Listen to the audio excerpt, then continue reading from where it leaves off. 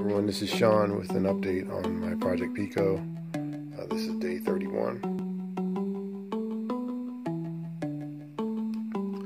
So I got some coral that the uh, sexy shrimp really like to hang out on. There's three right there.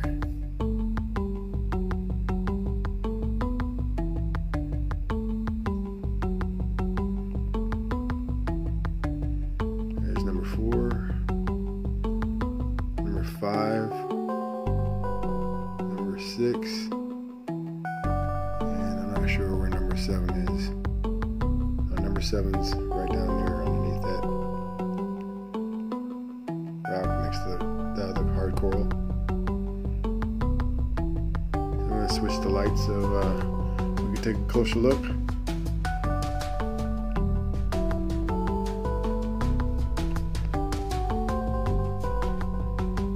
Three right there.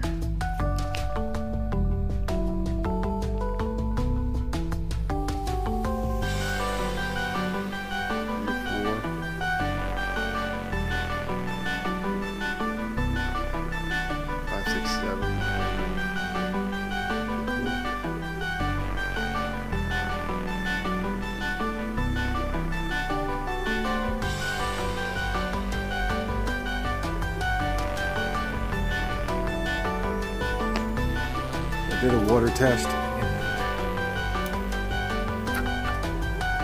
Here are the results.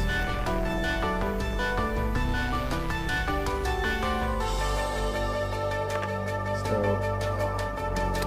pH is at 8.0.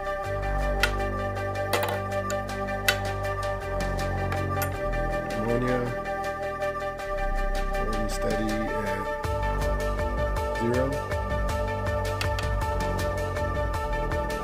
Nitrite looking at zero.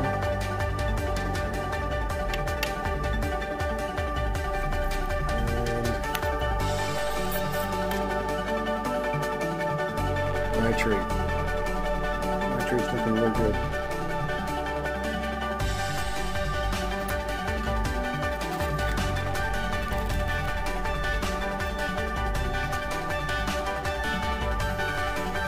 The camera is very deceptive, but I'd say it's probably about 5 ppm.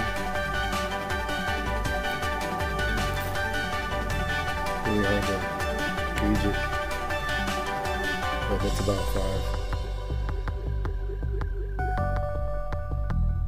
Looking real good. So that's 31 days, and pretty sure uh, the tank has cycled. So next edition, um, I did lose the Pac-Man, um, the Clown Goby. He had seemed stressed, so I moved him to um, the 10 gallon tank, and he died in there.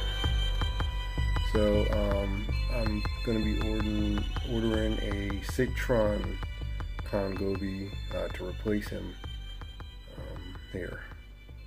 So that'll be the only fish that will reside with uh, these invertebrates that I have. I've got some snails. I've got a uh, Mexican turbo snail in here, and I've got um, some Astrea snails. Uh, there are two um, Nassarius snails buried underneath the sand. Uh, there's a starfish up there.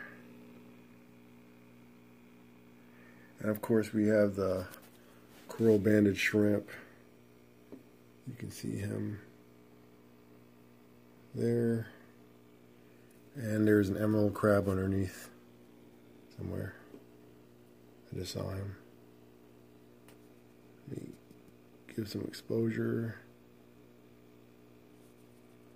You can see him right underneath there.